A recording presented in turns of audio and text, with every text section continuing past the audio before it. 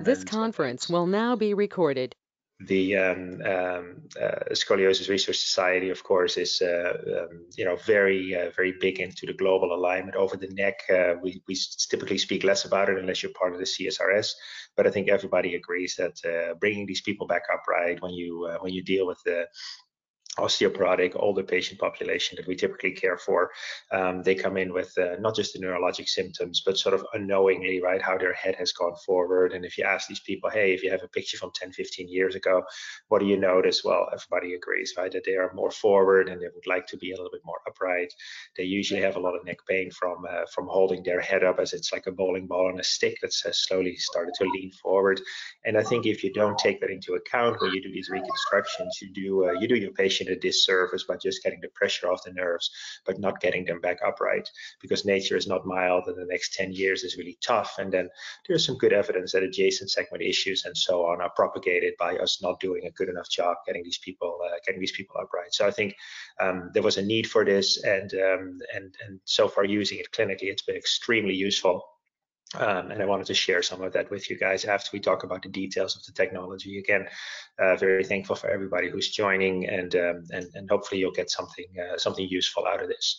Um, the agenda is, uh, is, is in three parts here. The main part we're going to talk about is uh, HiJAK anterior cervical, as you can see on the left side. There's a bit of an introduction about the uh, technology. Then we'll talk about some clinical uh, outcomes, and then there's some room for questions, as Brad alluded to. Then we'll talk about the V3 plating system, which is independent independent but sort of integrated with the with the HiJAK. It's a guided system of very easy plate placement. And uh, perhaps a light bulb might come on that instead of having to do a three or four level plate it might be helpful for a variety of reasons um, uh, to uh, to perform individual segmental plating. And we'll talk about some pros and cons uh, about that. And then lastly um, to combine these things together for uh, reasons of biomechanical advantages we'll talk about there is HiJAK um, standalone hopefully coming out later this summer which incorporates basically a plating system with an expandable cage.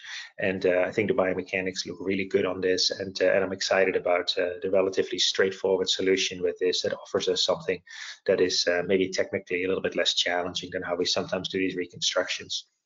Um, so moving uh, moving forward, um, the HiJAK AC, the, the anterior cervical component, uh, is is running on a video there on the left side. As you can see, there's an expandable device with a very solid core, and then there is a um, a lifting mechanism inside of this that allows the superior and inferior end plates to expand here, as you can see, into lordosis. There's an adjustability of two and a half millimeters anteriorly.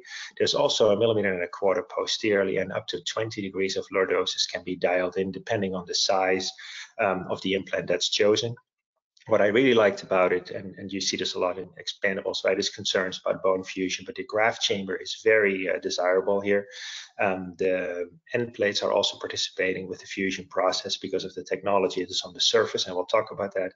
And then what I like a lot uh, clinically now is that uh, we have the ability to post-pack it through the center, and in the middle you see a small picture of it being placed, and you see there's quite a generous center here, and it allows you actually through a funnel, and I'll show you some pictures of that, to pack the uh, inside of the cage, and then there's some sort of an expansion, if you will, of that bone graft material from the center of the cage into the uh, space where the end plates are meeting that graft chamber, and uh, you can really put some nice pressure on the bone graft that's in there. I think the best part is that I typically don't use Caspar pins for my distraction. I don't want to drill additional holes, especially if the patients are osteoporotic. And I use this um, relatively small, we call it a grasshopper, right? A little laminar spreader in my disc space. And sometimes when I take that back out, the disc space collapses a little bit back to its original height, right? After you do your discectomy and decompression. And then having to hammer something in there is, uh, is, is, at least in my book, not desirable, especially if patients have adjacent myelopathic levels where there is maybe a three level scenario where the spinal cord is really tight. I want to avoid having to hammer any kind of implants in there and have a very controlled way of basically dropping this implant in there and then expand it and the beauty is that I'm not committed to having it go to so many clicks, right? There is an infinite and continuous expansion mechanism in the um, end plates that are uh, coming up from that center core. And it allows you for uh, dialing exactly in where the neck needs to be based on uh, your intraoperative um, uh, appearance, of course, of the level, and also your preoperative planning. As I alluded to, there are 0 to 20 degrees of adjustable lordotic angles, depending on the implant that you pick. It's 0 to 7, 5 to 12, or 12 to 20 degrees. And the 2.5 millimeter continuous anterior um, expansion allows you to have these different sizes available. And, uh, and, and thus far, I have not met uh, a level that I could not place uh, uh like the perfect size of my, uh, my implant in there the beauty of this is too that as opposed to having uh, say a static wedge right that may be hyperlordotic that once you put that wedge in there maybe the anterior height goes up but posteriorly you do not benefit from additional indirect decompression. And i really like that in these people. I, I, try to do a really good decompression with getting the osteophytes out of the foramen and so on.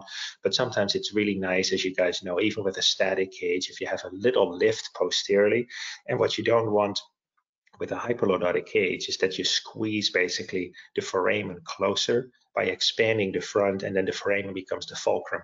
So what I like with this is that I deliver the cage and when I expand it in the back, there is a little bit of height restoration also that gives the room uh, a little bit more breathing room for the nerve root coming out there.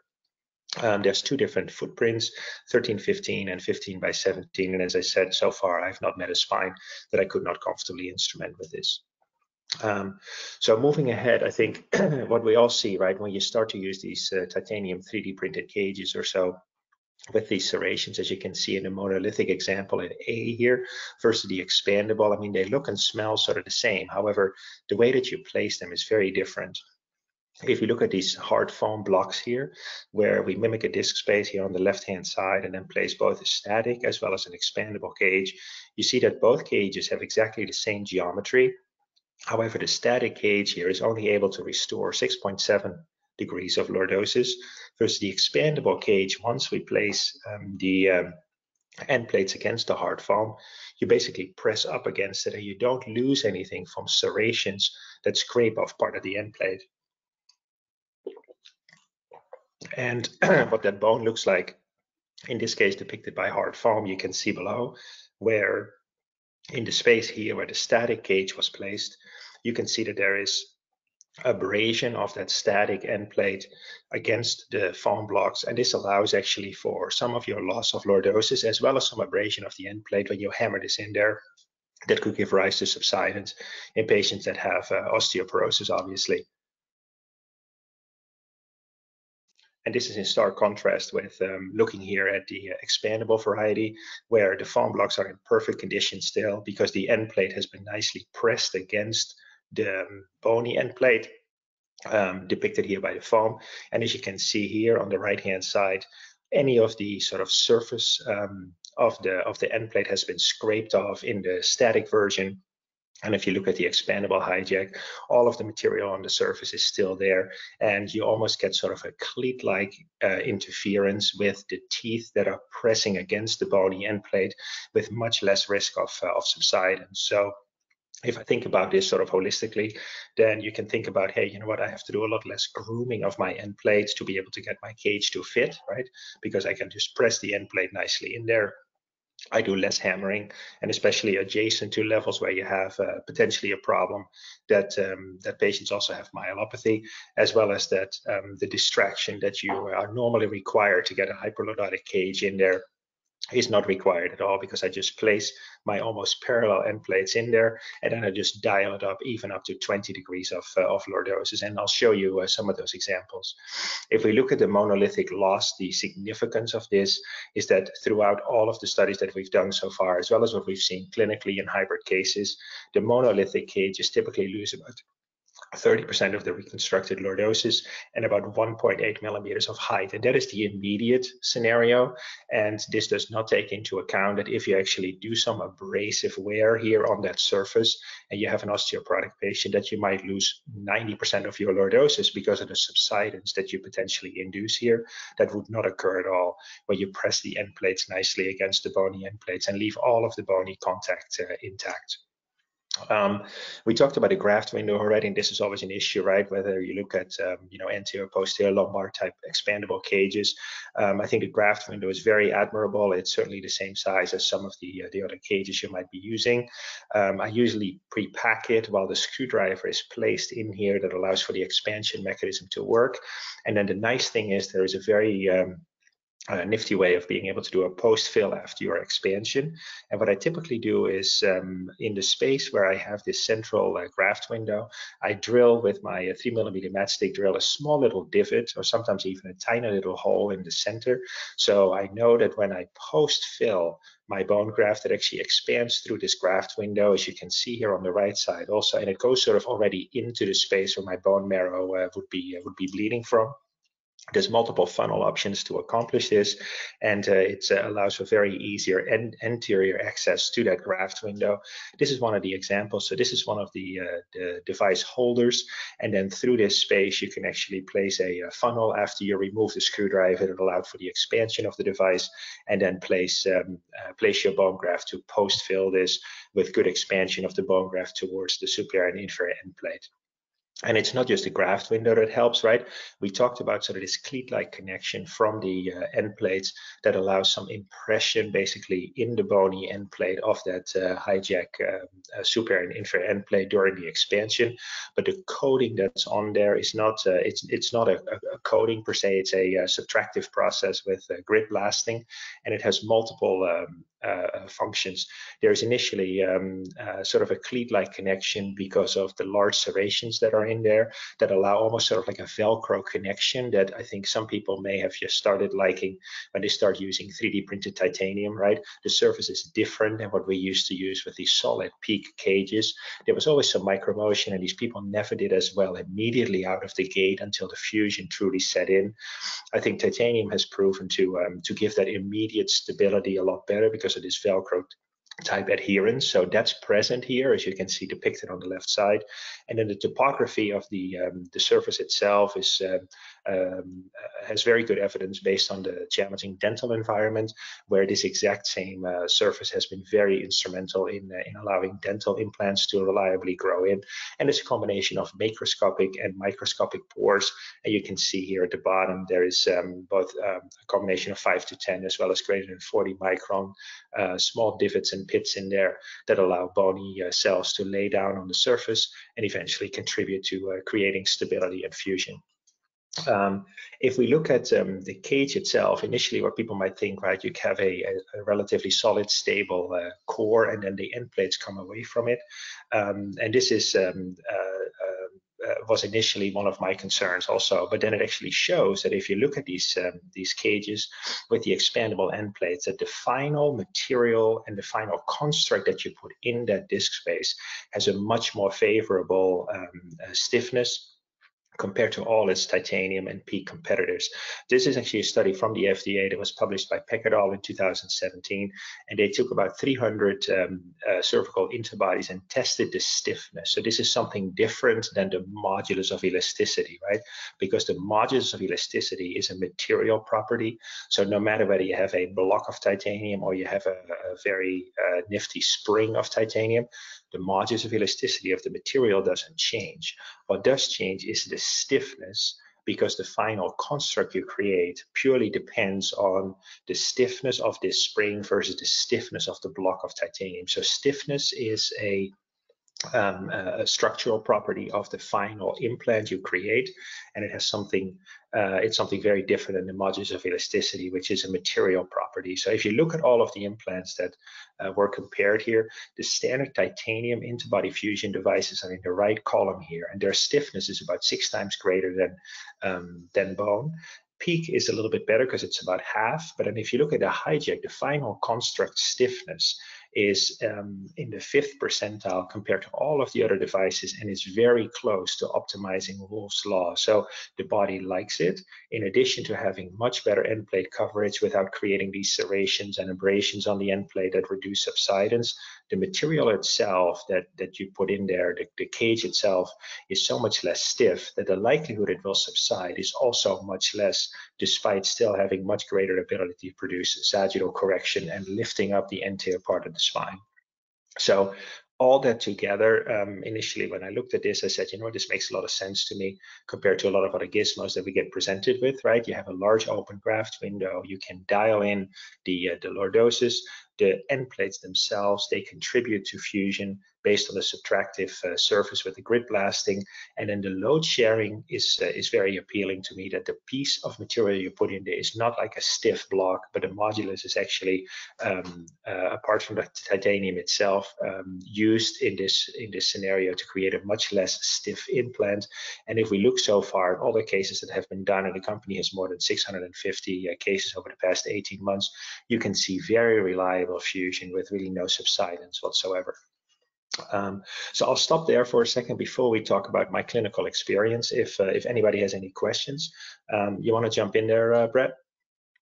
Sure. Yeah. So just uh, I'll, while we wait for a few to uh, to ping up some questions in the chat room, I'll, I'll ask one. Dr. Poelstra, you had noted the ability to dial in, and you may hit this a little bit in your clinical discussion, but the ability to dial in and stop at any amount of expansion. I'm curious, in your own experience, does does muscle memory take over and you just drive this thing up till it clicks off, or do you find yourself uh, dialing and stopping, and what guides that decision?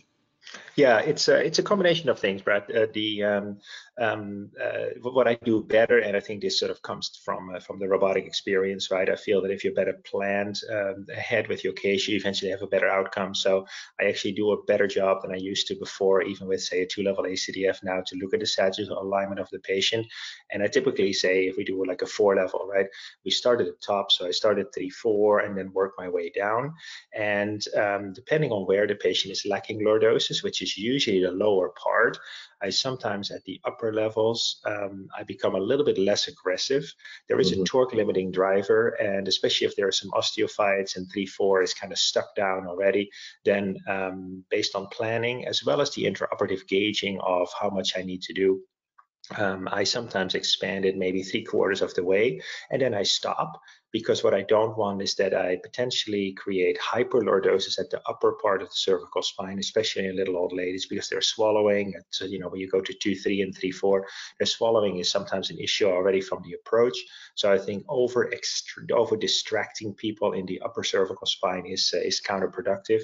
Usually at the the lower levels, also because the um, the footprint I can use is usually a little bit larger, so there's a little bit more surface pressure that can get divided through the larger implant plan, I, mm. I, usually try to get as much out of it as possible. So uh, it's a little bit of, um, uh, I guess, a clinical feel during surgery, and it's uh, and it's planning, and then in combination, people will see. I think that at the top you might not be as aggressive, and at the lower part you take an implant that has a little bit more expandability into lordosis, and typically uh, I uh, I like to get to the torque limiting end of the of the insertion driver. Okay, great. Uh, we've had a couple other that have been um, stuck in here. So uh, let's see, there's a question here about what are you using for bone graft to be able to post fill through the implant? Yeah, that's a, that's a good question. If you are um, uh, meticulous about um, uh, filing down or, or shaving down your autograft, I like to keep as much as I can, right? Then uh, you can certainly use that. Um, when I use my three millimeter matchstick to uh, to take off some of the anterior or the posterior osteophytes especially. And I know there is no disc material in that. I actually take a little Penfield 4 and I harvest all those shavings and we call it sort of nectar of life. Um, and uh, and I usually like to mix that in with whatever else I have. I have been um, very fond of a product called uh, MagnetOs. It is made by a company called Kuros, K-U-R-O-S, um, primarily again because the clinical data is so good of that product. Um, I got no additional conflicts or anything, but it's been it's been working really well in my in my cases, and I actually like to place that through the funnel because it's sort of a gritty type material, and uh, along with the um, uh, the nectar of life that I mix in there together, it fits beautifully down the funnel with any kind of you know additional small pieces of local autograft. So that has uh, that's been my workhorse, and uh, as you saw in the picture, I can get that really pressurized sort of in there. And for the orthopedist, I mean, we know about impaction grafting, right? If we have a good approximation of your bone graft to the patient's native bone, the likelihood you have good incorporation is high. So that in combination has worked really well. Perfect. Um, there's one technical question about the implant that maybe I'll, I'll take and have you chime in, Dr. Poelstra. There's a question uh, from Tim Graves about the locking mechanism. So importantly, with HiJAK, there is no secondary step. So, you know, with one instrument, Dr. Poelstra it places the implant in, dials it up, and then stops and releases the inserter. So how do we ensure that we don't lose that distraction? There's sort of two redundant features that are built in. The first is the mechanism itself is such that as the end plates of the implant are loaded, uh, the drive screw is being pulled in tension, which is the same effect as a bolt being tightened in your in your car or what have you. So once that bolt is tightened, it does not want to walk. So that sort of finger trap type mechanism is step one or part one. Part two is there is an interference fit that has been designed into the screw. So while the surgeon can easily overcome that drag feature with the torque limiting handle that's provided to them, that drag feature has been put in there to mitigate any sort of concern of vibrational uh, walking of the screw. And so that allows the surgeon to dial up and stop at any point along the way. Um, okay, we've got a couple more here, but you know what? I'm thinking, Dr. Poelstra, why don't these are good. Keep the questions coming, please. Maybe we'll let Dr. Poelstra get into the clinical uh, on this, and then we can hit uh, the rest of these questions at the end of the clinical part of HiJAK, and then we're going to transition into V3 and to standalone. But please keep okay. the questions. Perfect, very good. Yeah, so um, if you um, if you see my my PowerPoint again, this is um, uh, the expansion, I guess, of the NASS talk that uh, that we gave the initial case series, and I want to acknowledge my co-authors here from uh, both Destin, Jupiter, and then from me now here in Los Gatos uh, about the uh, initial 25 cases we've done um, uh, with uh, the expandable HiJAK. Um, and, and as we alluded to earlier, right, I mean, the things that we see sometimes is that uh, we do not reconstruct well enough in the cervical spine because it just has simply um, has um, has not had as much attention is the, the, lack of good sagittal balance after the reconstruction. And it actually shows, if you look at the literature, if you leave these people, people forward, they still have to then uh, put a significant amount of traction on their posterior cervical uh, musculature, and that then uh, uh leads to accelerated adjacent segment degeneration. So it's not just fusion, there is more to the story when we do these reconstructions. Um, I think that all of us have seen that, hey, you know what, if you go anterior only, fusion rates drop from uh, the, the, anticipated 90 plus percent to maybe the 60 to 80 percent range because not everything fuses. And that might actually have to do with the fact that we leave these people forward so they're biomechanically not loading that implant interface well enough to be able to get the bone graft to be nice and stable and eventually fuse because there is too much dynamic instability still because the head is leaning forward and this continuous muscle force that's required actually causes perpetual micro motion so the fusion cannot uh, cannot set up. And then if you look at the subsidence rates and sort of the loss of our reconstruction is pretty significant um, and initially doing a good reconstruction. And what I used to use was um, structural allograft right? I think most of us grew up with like VG2 allograft because there was really nothing else 20 years ago. So um, unfortunately, sometimes you had a block of bone that simply just resorbed and you had no idea why. Uh, but then these patients uh, did not just have maybe subsidence initially due to what you did during the surgery, but also the block of bone went away and then the plate, God forbid it was a translational plate, you got complete collapse anteriorly, and then it puts the patient out of balance again, again uh, with all the other issues above that we talked about that are disadvantageous. Um, and then the question is, hey, you know what, if this happens, why should we do the anterior and then not the posterior case? Well, um, I guess if you do a good job and you get a good sagittal reconstruction you get your fusions, even in the multi-level cases up to like 90% or so, I don't want to over-operate on 90% of my patients. I know it is, uh, you know, financially maybe attractive to do an anterior posterior, especially if you stage them and so on. I would say, you know what, that is over-operating on 80 to 90% of your patient population. And if you have a good discussion with your patient and say, you know what, you have a four level, we like to do an anterior operation because posterior, especially these people with like sort of these humps and um, maybe not uh, the most desirable uh, pulmonary profile, putting them prone and doing these cases from the back in addition to the front is, I think, uh, counterproductive. The comorbidity is much greater. People have higher rates of blood loss and uh, wound healing complications afterwards. They're in the hospital longer and so on. So I, I think that if you can stay anterior, it's beneficial for uh, for all of us. But we may need to have, um, you know, a better solution than what is currently being offered with the um, uh, anterior cervical standalone uh, or static cages. Um, so the initial case series that we did with this uh, were uh, 25 patients, half and half uh, male, female. 50% of these cases were revisions. It was a total of 65 levels, and typically, like in my practice, 50% are three or four level cases, um, and usually uh, these revision ones uh, become more levels. Um, so you see the breakdown here.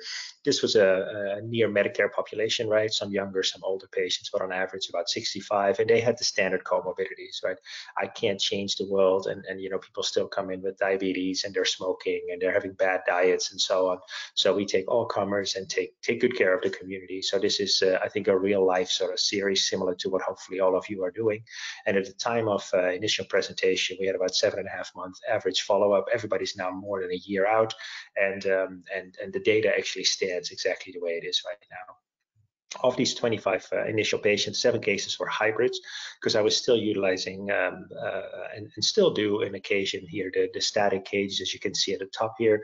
That's a 3D printed cage, and then at the bottom I felt, hey, I need more lordosis than what I can get out of a static cage, and I don't want to abrade the end plate. And there's, uh, as you can see, an example of two uh, HiJAK ACs below the um, the uh, static cage. Um, the lordotic correction was uh, was very carefully measured independently, and what we found initially already, especially looking at these hybrid cases versus the um, um, uh, where the uh, static cage was used versus the HiJAK AC, is that there was much better um, correction of the lordosis with the, um, the uh, HiJAK. Uh, we went up to 8.6 uh, degrees versus only 5.7 degrees in the static cages, although the lordosis of the cage was the same. But this goes back to sort of the abrasive nature and potentially the stiffness of the implant. And uh, this was a significant difference already. And the good news was that in these cages that we had um, this nice reconstruction of almost 9 degrees of lordosis per level. Over the first two months, there was no loss of more than like 0.6 degrees per level. So pretty much negligible um, and uh, I think many of us have seen uh, a little bit more lordosis loss when you really critically look at your films at like three months. You go like, you know what, I wish I got a little more lordosis out of it because um, my poor patient is leaning forward already, despite what I did in the operating room. So that does not happen with this. And I think it is partially due to the fact that we had absolute minimal subsidence despite a higher correction angle. And I think this goes due to the, um, the technicalities of how you reconstruct that angle, that you don't just abrade it in there with a hypolordotic cage you place your cage and then just simply um, during the expansion press the end plate with this velcro connection into the uh, end plate or onto the bony end plate and elevate the level. Um, if we look at um, the fusion status, um, 25 of 28 levels that had FlexX at three months already were fused. Both um, uh, these um, uh, these cases, whether they were short or long, had excellent, meaningful clinical improvement in NDI and VAS, and we had zero revisions in these uh, in these cases. And up to uh, what I said, uh, more than a year out, that still um, uh, holds true. more than 650 levels have been done, and per Atlas there have been no single revisions um, that they know of of the um, of the HiJAK AC levels. And I want to just just illustrate this with uh, with a standard case. I think we all see this, right? It's a, it's a mid 70s year old gentleman, otherwise, you know, pretty healthy, but uh, he's been a smoker. He's um, had uh, some difficulty with his balance. His hands are certainly clumsy on exam. He has clonus and Hoffman's. He has an MRI scan that we all know, right? These people get stiff in the lower cervical levels, and then they develop this sort of compensatory hypermobility, what I always call it at C4, C5 and um, the progressive degeneration then occurs above. And this man has a lot of neck pain for the past eight years. He's had multiple injections to be able to try to ameliorate this because he's just out of balance as soon as he is uh, he is upright, and he can't really look straight ahead anymore because of the way that he's now leaning forward, and because of his myelopathy, he had some falls, and um, and and you know he's in in need of an operation. And you know I know there's 10 different things you can do, but in this case I decided to do a C3 to C7 um, ACDF, try to stay uh, anterior on him only with these HiJAK cages. And actually, we did some fluoro images that I pulled off the system after uh, afterwards, and you can clearly see that uh, the uh, expansion here uh, that we were able to achieve with the HiJAK allowed for very simple placement uh, of the uh, of the implant and then press the end plates of the implant nicely up against the uh, bony end plates. And if you see the uh, expansion mechanism here it allows not just for anterior height and lordosis reconstruction but also this posterior opening to give a little bit more breathing room. And consistently when we measured this right on these magnified images it was um, slightly over a millimeter at each level. And I think this is something that we all like. We like stability around the nerve because that helps these people to feel right away better with their shoulder and arm pain and their weakness, as well as that um, um, I think a little bit of additional breathing room for the nerve is very appealing. So um, this guy had excellent neurologic recovery. His uh, his neck pain immediately improved as soon as he was out of surgery. Um, and uh, I think with having a reliable, persistent correction like this, even despite the fact that you know the collar comes off and so on, and these people's GPS are not normal, right? Their their homing mechanism is forward. They've been carrying their head that forward position, as you can see on the left side, for a long time, and um, being able to tell the patient, hey, you know what, we reconstruct you and we can keep you in that position is um, is I think very beneficial, and I think it's due to the implant design and the, the lesser stiffness of that interbody construct.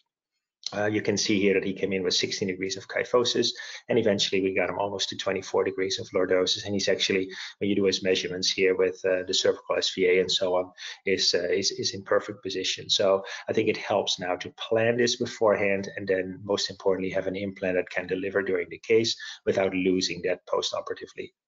So what HiJAK AC did for me is that, you know, we talked about this uh, this sagittal imbalance in the cervical spine that was an issue before. Um, I think being able to dial in where you need to, especially the lower cervical levels, makes it very appealing to get these people uh, nicely upright and keep them there. I think the fusion rate for uh, for what I have seen so far, based on the end plate texture that's on there due to the grit blasting, um, uh, helps to incorporate this with the fusion in addition to this graft window that we can pack, and again have better load sharing because you do a better reconstruction and have a well-balanced spine contributes to getting things nicely to fuse.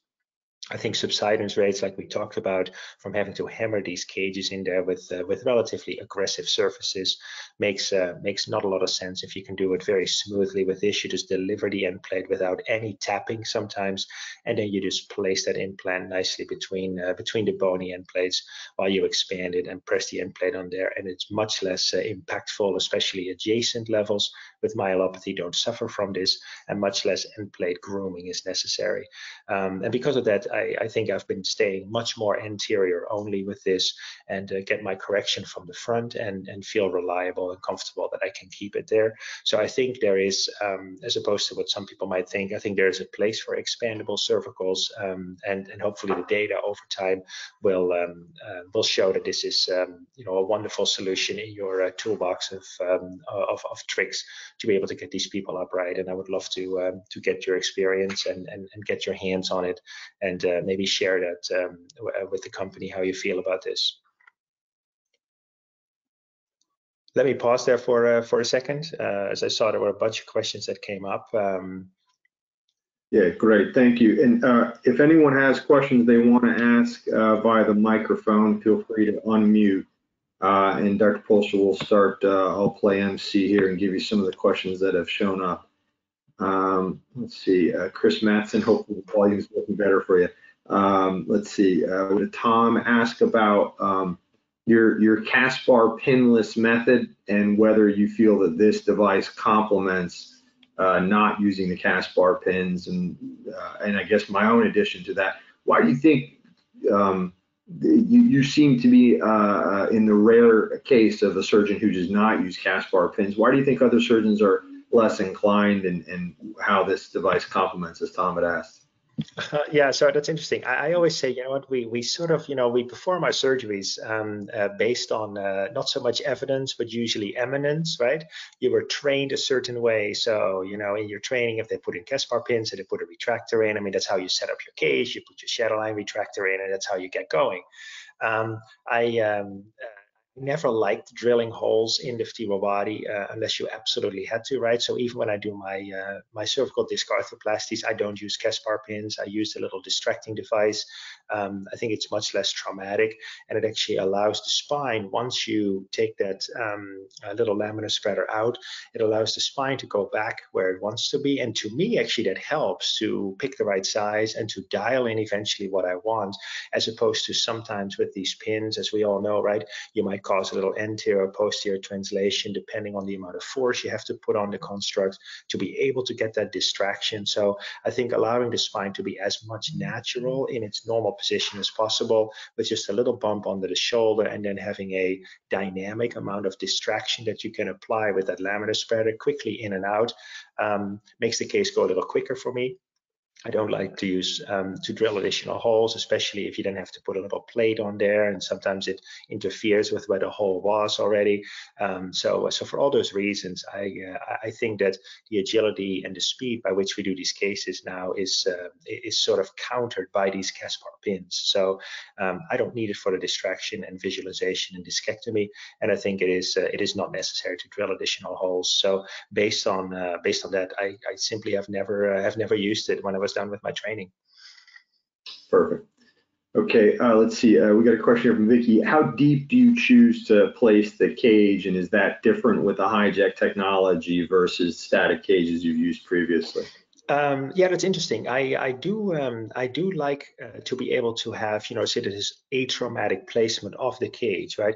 As anybody knows, you know when you have to get sometimes a hyperlordotic cage in there and it's kind of stiff and tight already, and you have to sort of hammer it in there. But with every every tap, it might go a little bit further. It might not really go. You have to hammer it kind of hard, and it's it's uh, you know somewhat unpredictable sometimes. What I do like a lot is that what I said, right? I drilled this little hole in the inferior and superior end plate to allow a little bit of bleeding bone potentially go into that graft chamber. And as I said, I use sort of this MagnetOs material that expands nicely into the um, uh, inferior and superior divot that I drill. And then the nice thing is that where I drill that hole, I can actually deliver the implant sometimes without tapping at all. I just place it in there, hold my uh, my device holder, and then simply expand it. So then the end plates, when they have sort of this cleat-like, this Velcro connection with the bony end plates, it keeps the implant exactly where it to be. And I, I think I'm putting the cages a little bit deeper since I'm comfortable delivering it exactly where I want it to be without it sort of sticking out the back and certainly not hitting like against an osteophyte that then potentially might break off towards the spinal canal. So, so I think it is a little bit more uh, subtle. It's a little bit more predictable to place this compared to having sort of an abrasive static cage in there. Perfect. Okay, uh, we're going to hit a few more questions. For those who joined late, just a reminder, we're in the Q&A on HiJAK, but we are going to discuss V3 and the standalone, which are shorter sections, but please, you know, hang on through the Q&As here. Um, let's see, the next question we have is uh, uh, about trialing and sort of your initial starting height. Uh, admittedly, Atlas has, has added a variable here that didn't used to exist. You used to trial to the final height of what you put in. How do you handle, and I, I can tell you that this is a, um, a topic of discussion with many of the surgeons who use it. What is your philosophy and method when it comes to trialing with this system? Um, yeah, so the trialing is, is merely for size, I think, you know, whether you put a, a 13 by 15 or 15 by 17 in there. And then uh, it's uh, it's based on the gauge that I think with this laminar spreader, I have an idea already how much I can get out of it from a lordosis and distraction standpoint. And it is based on my pre-planning. So it's a combination of those factors where um, where I typically pick uh, pick my cage. You guys start off with, uh, you know, something like, like say an eight, which is sort of your workhorse. And once you start working with this, you very quickly right? Like all of us, we look into the space and we go like, oh, you know, I know that's going to be an eight, right? I know it's going to fit. I know it's not, you know. So so um, it uh, it is a combination of things initially where you want to be a little bit careful with the trials and see where you are, and then it is uh, it is the distractibility of that cage, uh, of that um, of that space, um, as well as your experience based on the size that is there and how much force it took with uh, either Caspar pins or in my case this little laminar spreader of how much um, uh, it took to get the space opened up to what I dialed in initially in my planning phase what that level would need. Um, so I don't have like a perfect answer for it. Like this is like the workflow of how to do it. Um, and uh, and I think everybody is is in his own right uh, capable of having done these cases a lot to to gauge what would be in there. Uh, but I would encourage you to use the trials and use sort of your sense of distractibility with the planning to come to the final answer of which uh, which size implant you would pick. Perfect. And just one comment to add there, uh, while not standard in this system, Atlas does have available expandable trials. Uh, we found that for early users or even surgeons that are, are not yet, um, uh, maybe they don't even have hospital approval yet, or they're not yet convinced of the value of the technology, these expandable trials are a one-to-one replica of the implants that just don't have teeth. And to provide yep. the opportunity to get that beautiful image that Dr. Poelstra showed where you see you know, slide the cage in, you've got X amount of lordosis, flip it to the other side of the screen, expand it up, and then you see that change. Uh, we found that once the surgeons get comfortable with the system, they don't tend to use the expandable trials. It's just a, a, step that they don't need because they, they tend to have a sense of what they want. but it is available for you know both the sales uh, strategy and and for surgeons who might have an interest yeah, I didn't want to want to talk about it because I'm not sure if it was available for everybody. Initially, maybe it might be a good idea to have it in the initial sets, right, to give yeah. people an idea of where they can uh, where they can get to with this implant. Um, but as you said, yeah, after a couple of cases, you go like, oh, you know, I I know what I need to use now. It's just a familiarity with the system that that comes pretty quick. Yeah, we, we've been it's early training wheels. Um, yeah. Okay, uh, let's see. Dave had a question here. At the C3-4 uh, or at the upper levels, when using a static cage, are you using a parallel or zero degree, or do you still use a lordotic implant at that level? Yeah, I, um, I, I still use a, a, lordotic implant at that level, and I think that's where the beauty comes in. That this is like a continuous um, uh, distraction anteriorly, right? A continuous dialing of lordosis with this implant, but you can stop wherever you want to. So initially, if you pick a parallel implant that goes zero to seven degrees, you can say, you know what, I put it in there, but I really don't want to do any any distraction here. So you dial it up just so the end plates have good contact with the bony end plates, and you post fill it so you have nice uh, filling and expansion sort of of the uh, of the bone graft towards the end plates, and then that's it, right? So you can use it perfectly for that. But I typically still use a, a lordotic uh, implant, even if it's a uh, if it's a static cage that um, um, that I used before uh, prior to HiJAK. But now with HiJAK, I think it's uh, it's tremendously beneficial to um, uh, to be able to dial in exactly the doses you want, or say, hey, you know what, I'm happy with the parallel here, and uh, and I'm not going to expand it any further. Perfect. And then one last one here from uh, Joseph. Uh, and I'll, I'll, I'll handle one part of this and then hand it to you, Dr. Poelstra. Have there been any uh, incidents for a scrub tech or a rep to look out for intraoperatively during the surgery? The, the only thing I'm aware of is there is a, uh, a step that the scrub tech has to be careful about. You do have to pre-pack around the driver, which means the screwdriver, and this is getting into the nitty gritty, but you need the screwdriver engaged into the implant first. If you it, it's intuitive normally for the scrub tech, they get the inner body and they start packing it. If they do that, the driver won't engage and then you won't be able to get expansion. You'll figure that out very quickly. That's the only experience we've seen intraoperatively occurred. At Dr. Poelstra, what have you had, you know, on your back table go go wrong, if you will? Um, well, that's exactly it. I mean, the first two times uh, they were like, well, you know, we got this good bone graft, so we're going to put this in there, and they stuffed it full of MagnetOs, and then, you know, we, of course, we couldn't get the driver down because the expansion mechanism is, uh, you know, sort of to the posterior one third of the of the of the cage. Um, that's the only thing really. I think the holder fits very nicely. It's a very very sort of um, smooth anterior surface with these very superficial um, uh, cutouts, but the holder is actually beautifully designed and it gives you great stability. So it's uh, it's never been an issue to get that on, um, and uh, there's really nothing special I think that needs to be done other than that that screwdriver needs to be in there. And then what they can help with already is start to pack the funnel because I think the post-packing feature that uh, that that you have with this is is instrumental in getting a solid fusion through that graft chamber. So they can start packing that funnel, and that uh, something sometimes takes a little practice, uh, which depending on the material that you want to use. Absolutely, great. Okay, well, why don't we switch uh, or transition on to V3 and um, everybody continue to shoot questions over. We can certainly continue to discuss HiJAK at the at the next break point if there are other questions that arise. Okay, very good. Um, I know we have uh, maybe about 10 minutes or so left, so we go uh, we go pretty quick through this. Um, this is, uh, as I said earlier, right, a segmental plating system. Some of you might be familiar with this. I uh, I have liked segmental plating from various companies for a long time because I think it reduces the relative stiffness of the entire construct. Right, we've mentioned this numerous times today. I think it it helps with the incorporation. It reduces subsidence and it gives people a little bit of a less sense of like a true stiff stiff neck after this. Um, so the V3 plating system, as you can see, is a triangular um, uh, plating system with a, a, manhole cover in the front.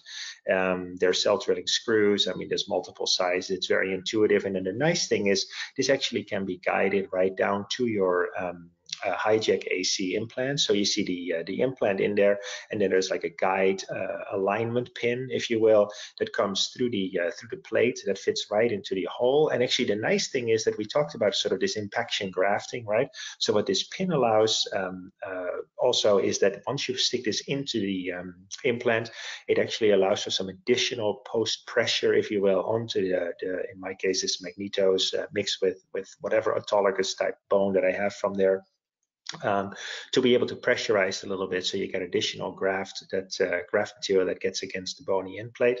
So um, gets placed in there. I like to plate short right? So i could have gone even shorter here as you can see at the bottom but i like to plate short to stay away especially from the adjacent segment not to cause any additional degeneration there. And uh, the plates can be placed um, with uh, the triangle up or the triangle down as you can see here in this four level where uh, the plates actually have the small hole at the top and not at the bottom and uh, they fit very nicely together. So imagine if you had to do a revision uh, because you played nice and short with this, there's very little additional metal that goes above and below the, the screw holes. So it'd be very easy to add something onto it. And I think what we sometimes see is that, you know, you have these tremendous osteophytes and this, this sort of uh, contributing to the stiffness of the end plate of the patient that you don't want to bite away. Well, then this implant actually allows you to be maybe slightly placed at an angled position. So you put one hole in the place next to a tremendous osteophyte if you want to leave that sitting there anterior to the uh, to the to the disc space, and um, uh, then you place your two holes at the at the opposite side. So um, I think the ease of having a guided plate optimizes uh, your ability to have perfect plate length, especially for multi-level constructs and not getting into the adjacent area. And then uh, the, the segmental plating, I think, allows for the entire construct of three or four levels to be slightly less stiff than what you would have with a, a normal plate.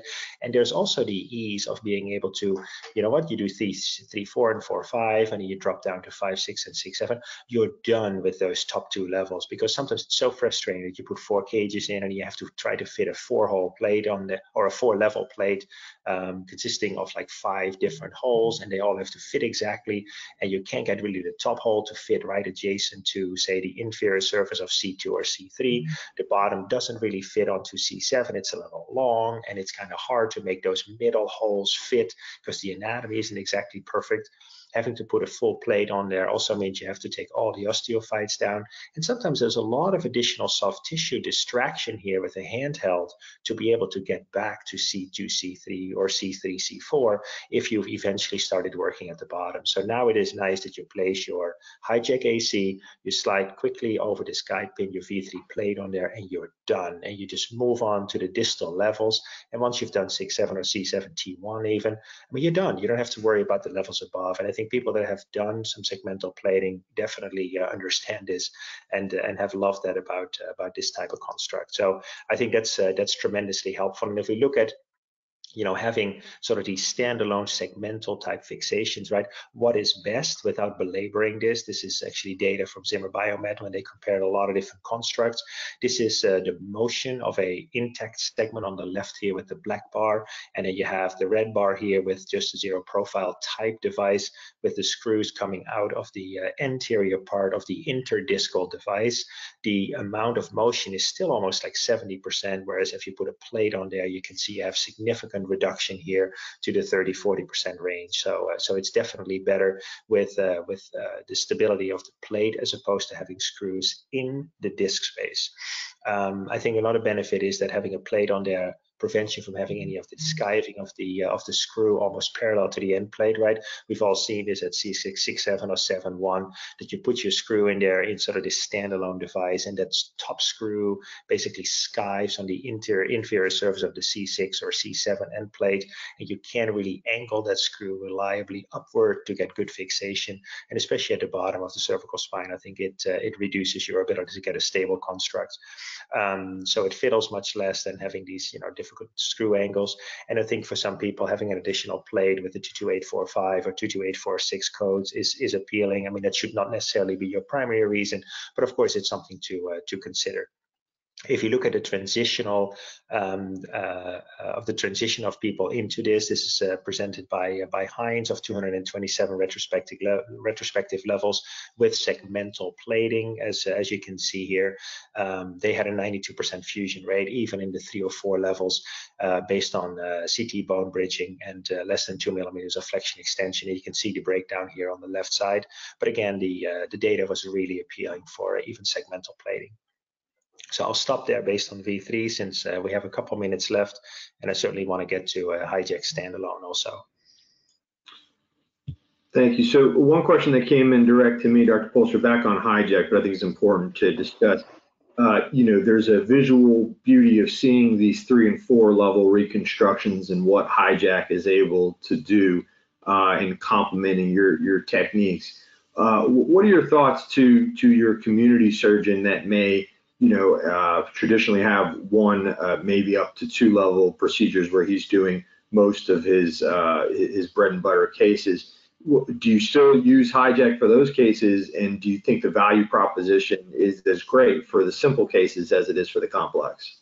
Um, yeah, I think very much so, because what I would say is that sometimes we think about these simple cases too simple, right? There's a lot of people that do single and two level TLEFs all day long, and they actually inadvertently put the patient in kyphosis. I mean, this is well borne out, right? That a lot of, a lot of, um, uh, you know, we're all guilty of this sometimes, right? Um, are, are, not paying attention too much to uh, to alignment. So I think there's a lot of people that uh, potentially at these two level ACDFs that they might be doing inadvertently uh, try to put a lordotic cage in there but the spine doesn't really conform to it because of um, maybe not proper technique or simply abrading the end plate. And then anteriorly, although the cage is tall in the front, there's so much abrasion that you simply lose all of that benefit of that lordosis. Um, so I think if people become more in tune that, hey, you know what, your global balance includes, yeah, your neck also, especially if you do five, six, six, seven, very common levels in the community, right? Dialing that patient up out of their thoracic spine a little bit more will help you get reduction of adjacent segment issues, greater chance for fusion since you are not dynamically teeter-tottering back and forth. You have your spine perfectly corrected the way that the head needs to be carried over the shoulder. So I think we don't want to have, uh, have, have surgeons cause iatrogenic deformity by locking these people inadvertently into kyphosis due to all of these sort of drawbacks that static cages potentially come with. So even for the single and two level uh, cases, I think it is uh, it is a wonderful way to allow people to What's up, man? And yeah, it's still on there, but they're once they're able to uh, to see the benefit of it, I think it is um, um, it is going to um, uh, to make them like the implant even more by maintaining that lordotic correction. Perfect. Okay. Um, we'll, we'll move on to standalone. Just one other comment on V3 as you pull that up, Dr. Poelstra. V3, uh, while as HiJAK, we've got 18 months of experience. V3 is sort of in its alpha. So we launched that early this year uh, slightly pre-COVID. So the, those sets are out there, and you know certainly we expect to expand upon the, the clinical research on V3 as as the uh, system evolves. Yeah, Perfect. Very good. So I'll move on uh, with this. We have like five minutes left, I think. So this is uh, sort of the combination of uh, number one and two together uh, without having the drawback of having fixation that comes out of the disc space itself, right? This is an anterior plate basically set onto the, uh, the, the, HiJAK uh, anterior cervical. Um, I think what we learned already is that, you know, this is basically the same implant with identical footprints, height and expansion range with the lordotic angles like we talked about already. So it's a very intuitive intuitive way. You do your normal uh, decompression, and then without having any distraction on there, you basically just drop this in there very smooth without any additional hammering. You expand it, you have a little drill guide or an awl, you put your screws in, you lock it together, and then you post pack it again. And I think that's very appealing with this, um, utilizing one instrument, in, in this case, the funnel. I think with the 650 plus cases that have been done, there's good, um, um, uh, good data now that this works, and uh, hopefully late summer summer, um, uh, COVID willing, uh, we'll be able to uh, to get this in our hands, and and I hope the company can really introduce it at that point. And I want to bring this graph back where you know we talked about an intact spine here on the left hand side, and then what these sort of standalone devices would do. As you can see here, the the plating system that's attached to the cage here has certainly the best biomechanical stability after the screws are placed. And um, I think that um, you guys understand at this point that you know dialing in the patient correctly and then just dropping these two screws attached to the implant would make this uh, a very little fill factor type uh, type thing with the predetermined uh, straightforward screw angles that you don't have to struggle with in the intervertebral disc space, but they go straight on the anterior cervical spine. It's very thin, the anterior plate, so I think that is uh, that is going to be altogether very appealing, and I can't wait to uh, to get it out there and um, and and put um, you know multiple of these levels together and see how they work. Awesome. And uh, guys, we can certainly stick around for questions. So while we know we're up against the 11 o'clock, don't don't hesitate to ask some questions uh, and make sure we get everything addressed. I, will ask one, Dr. Poelstra, which I know we've discussed offline. Atlas is sort of developing this uh, this menu of of cervical options. You've got HiJAK and V3, which is you know an option for you. You've got HiJAK and, and traditional plating, which is an option. and now coming soon, you'll have the standalone. What, where do you see the clinical application in your own practice for when a standalone would be appropriate uh, versus uh, the V3 and hijacked uh, philosophy? Yeah, um, I mean, of course, it depends a little bit on the clinical experience we're going to get with this, right? I mean, I'll, I'll say that up front. But what I would think is that um, I like these uh, these standalone devices when you have a nice, flat, smooth anterior longitudinal ligament without any additional uh, osteophytes and so on. I think it would fit perfectly for that. Uh, what we sometimes see is that there's, you know, people that build these osteophytes that are sometimes even larger than the vertebral body itself, right? Then I would be kind of hesitant because I would potentially place my interbody device deeper than what this anterior plate would allow me to do, right? I would be able to independently place my implant dial it up and then put a plate on there and especially with v3 maybe avoid some of these nasty osteophytes that sit there. So that would be my choice for those patients. But if you have a, a relatively standard straightforward case where people at six seven five six could use a little bit of extra lordosis i think the standalone device makes perfect sense. The simplicity of it is very appealing to me.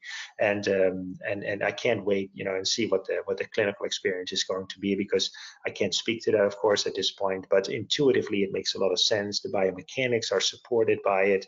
The cage is not hyper stiff, but the stability of the construct is really good based on data that we know and I just shared with you. So all altogether, intuitively, it makes a lot of sense. And um, and and I hope when when we get our hands on it, clinically, the experience is only going to complement that. Perfect. Likewise. Okay, we've had a couple other questions come in. David had asked, uh, do you believe that a regular cervical plate, I'm assuming he means non-segmental plating, does that help to restore any of the lordosis or is it uh, there primarily just to stabilize? Yeah, that's a great question. I always um, felt, David, that that I needed to use a um, a lordotic plate that was slightly more lordotic than what the spine was positioned as on the on the table, right? So then you uh, you fitted, say, your bottom screws or your top screws, and then you pulled your spine almost like towards the plate to aid into lordosis because the interbodies simply weren't good enough. But then, you know, looking at these cases afterwards, what I always felt is that because of pulling the spine up, I actually caused a little distraction, especially at the middle two levels against my um, my interbody graft. And sometimes I put a Penfield 4 through the little opening in the plate, say, you know, I used, what I said, right, the VG2 allograft. So initially it fitted nicely, but then I brought the spine more up into lordosis and I could almost like wiggle that graft in there and I had to sort of hammer it back in there to sort of fit it um, in there. So I think the plate should merely be sort of your stabilizing tension bands, but your workhorse is your interbody device. It is very much analogous to when we do these um, adult deformity corrections now with, say, a 3-4 level lateral or 1-2 level ALIF below or OLIF or whatever you want to use. That's how you dial in your spine. And then you flip your patient and you just put a posterior tension band in with minimally invasive hardware. That hardware is not going to do your reconstruction anymore. You're not going to bend those rods in an MIS fashion. I think the cervical spine is slowly evolving to that same scenario, but I would very much caution you to using a, um, a hyperlordotic sort of plate compared to what your spine looks like after the interbodies, because the conformity against those those end plates and the incorporation of your bone graft is simply not going to be as good as uh, as it could be. So I always place a slightly um, inflated arterial line back underneath the shoulders of my patient. So I sometimes can vary that even simple during surgery by a little bit of additional inflation.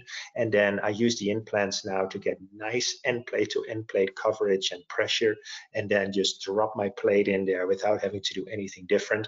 And I think biomechanically the risk then of loosening and, and relying on things that potentially uh, could make your construct fail is is much less by just having good interbody support. So um, that that that would be my best advice on that. Perfect. Okay, we got two more here. One that I can quickly address. Uh, Joseph had asked, is the construct assembled on the back table? Um, if you're referencing standalone, the answer is no. That's all one unit. So it is one physical piece of metal that you insert expand, drop your two screws in. Uh, and then HiJAK in V3, that option you would place HiJAK first, do your procedure, expand it, post back, and then the, the guided plate holder comes in separate. So it is a distinct plate and cage. This is not one of these gray areas of, oh, well, I'm technically expanding it intraoperatively or, I'm, or excuse me, I'm technically assembling on the back table or I'm assembling intraoperatively. The plate and the cage and V3 and HiJAK are completely distinct. Um, and then uh, one other question that got sent in is uh, the perception of uh, dysphagia. Dysphagia, uh, you know, is a short segmental plating um, as uh, you know as complementary to to minimizing dysphagia as is a zero profile. Your thoughts and your clinical experience with that?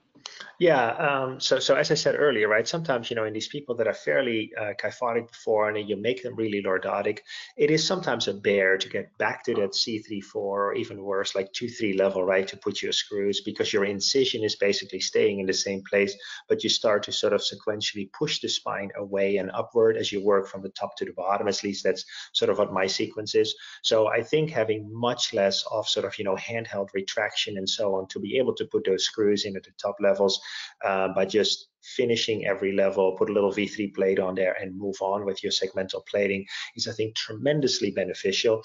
And then the other thing is that, um, you know, dysphagia has been like, uh, you know, sort of the um, uh, uh, the black sheep, if you will, of all of these studies, right? Everybody touts that, you know what, with disc arthroplasty, you have it less because you don't lean with your screwdriver towards the esophagus. With certain retractors, you have it less. With dynamic retraction, you have it less. Um, I think speed of surgery makes a huge difference. If you take three, four levels, um, and you do like an eight hour case, yeah, nobody can swallow afterwards, right? It's clear that in the upper cervical spine, the risk is greater, so less soft tissue retraction, mm-hmm. being quick, facile, and be done done with it quickly is is tremendously beneficial, I think. But if you look at the V3 plating system or the um, the, the, standalone once it comes out, um, what you can imagine is that actually placing divergent screws um, improves your fixation. There's good data to show that diverging screws improve the pull-out strength. So that's one thing. So you don't have to lean very hard onto the esophagus because you just come from the opposite side and you place your screws divergent as long as there is enough bony anatomy available that it's safe, obviously. So that's, I think, one of the reasons. And the other thing is that I think it's a technical issue that if you um, place your retractor with like a table mounted arm to keep it in place, I think there is more consistent pressure, which is not necessarily so good. So what I do actually, I tie two umbilical uh, tapes or, or Mersilene tapes on my retractor with a little loop, and I hang just merely like half a pound of weight on both sides of the neck. So there is on my shadowline retractor with the feet nicely underneath the longus colli muscle there is posteriorly directed force and not laterally directed force. Of course, you have some traction on the on the retractor, but you know, with a good soft tissue dissection like we all do, I think it does not put additional undue stress on there. And because they're just little tapes with a small amount of weight, it's tiny, but it just holds it in place there. There is some dynamism there, and it prevents persistent traction against that esophagus. And I think that that makes a, a big difference. So I'm happy to share some pictures if people would would, would want that. The beauty is is that these, these little tapes have a little loop on them. So you take them off, you put them on a little mosquito, you move your retractor, you put them right back over um, the little round connections that the typical shadow liner equivalent has to be able to keep it in place. So that's just sort of a technical pearl of not having consistent high pressure against the esophagus. And then divergent plating with V3, being able to move the plate a little bit where you feel its ideal fit.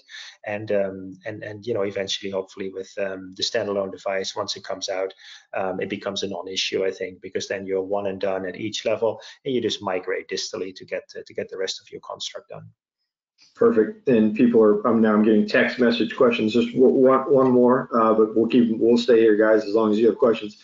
Uh, excuse me. The zero profile devices, whether they're the screw based, which we've sp spoken about, and maybe even more importantly, some of the blade based. The question of uh, sort of that uh, you referred as an intradiscal type fixation versus the standalone coming out proud of the vertebral body and on the anterior margin. Uh, what are your thoughts on the biomechanical stability of those for both single and, and multi-level constructs comparatively? Um, yeah, so it's not so much my thoughts, right? We like to do evidence-based surgery. So going back to the graph that we showed earlier, I think any of these intradiscal um, uh, fixation devices are biomechanically inferior to anything anterior to where the ALL would have been. Um, ideally, it's attached to the implant itself because biomechanically that creates the uh, the most stable construct. Um, so um, I, I noted in a lot of people's hands these sort of you know blades going in there, and the zero zero profile devices have been working working. Um, and on an N is one basis, you know, I'm not here to speak that, you know, one thing is inferior compared to something else, right? But I think if you truly look at the biomechanics and if you then extrapolate it over doing, you know, hopefully hundreds of these a year, um, there is going to be a difference undeniably based on the data that, that we know is out there. So I think uh, it still comes down with, you know, good technique, good decompression, having the ability to place an implant exactly perfect to that uh, to that level, and then um, uh, you know anterior to the to the spine, putting your fixation is biomechanically better. So that would be my uh, my, uh, my, my ultimate choice, and I think uh, hopefully with the standalone device, it's going to prove that it puts all of these things together in one package, and it's going to be um, a very efficient way of, of accomplishing what we need to do in the in the OR. Perfect. All right, everybody. Uh, Dr. Poelstra, if you want to pull the slide back up with contact information, um, I'm certainly available for any technical or sales or distribution questions. Uh, and Dr. Poelstra has been generous in providing his contact information as well. Um, you know, thank you everybody for your time. Um, uh, if anyone would like to share this presentation, we have been recording it. So if you have, uh, you know, colleagues or counterparts that weren't able to join, let us know. We can share the presentation uh, stay stay healthy and stay home. See you Absolutely. you Very good. Thanks everyone for uh, for your attention and uh, indeed, you know, stay healthy and uh, and do the right thing for for your family first, and then hopefully for the community next. And um, I look forward to seeing everybody back on the front. Thanks so much, and, and have a great day. Thank you, everybody.